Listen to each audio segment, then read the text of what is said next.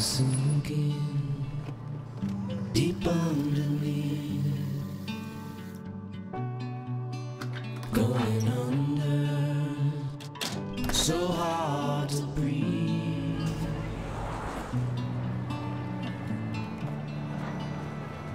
Ooh.